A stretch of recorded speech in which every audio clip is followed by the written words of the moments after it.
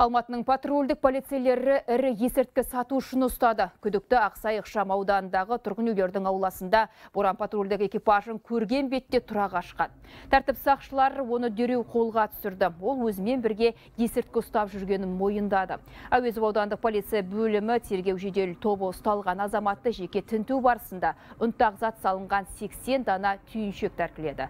Күдікті мұны синтетикалық есірткі екендігін айтты, сондай-ақ ол қаланың әртүрлі нүктелеріне басқа да шөптен жасалған улы заттарды таратушы екенін жайып салды. Қазіргі уақытта тәркіленген заттарға сот химиялық сараптама тағайындалды. Жедел бөлімшелер қалаға есірткінің жеткізілу арнасын және таралу аумағын анықтап жатыр.